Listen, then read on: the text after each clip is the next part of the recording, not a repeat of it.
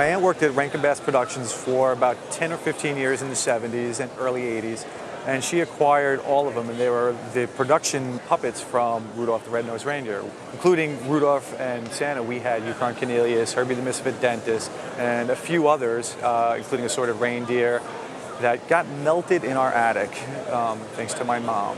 We used to have them around the Christmas tree growing up, and I'm just used to having them around. So what we have here are the actual original puppets. As far as I know.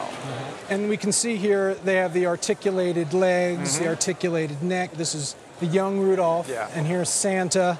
When you opened the box and uh, took these fellas out, it was like I was seeing old friends. Yeah, exactly. As I'm sure it is the case with millions of our viewers, this is a Christmas tradition. Uh, 1964 is when the film was made, and uh, it definitely has a, a warm spot in all of our hearts. So to actually meet them in person, it's Exactly. really exciting. This is iconic, and, and it's, on, it's on a very different level. It's not a toy, and everyone who's seen it has gotten a kick and recognized it instantly.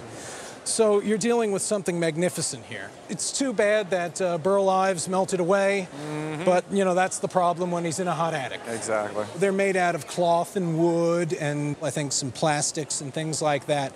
They're not in perfect condition. Yeah. The nose has been replaced. I guess the bulb broke. Santa's whiskers are uh, missing there, but what an amazing, amazing piece. If I were to estimate it at an auction, I wouldn't estimate it less than eight to 10,000 for the pair. Mm-hmm. What it would go for at auction, that's anyone's guess. Okay. My mom's gonna love that.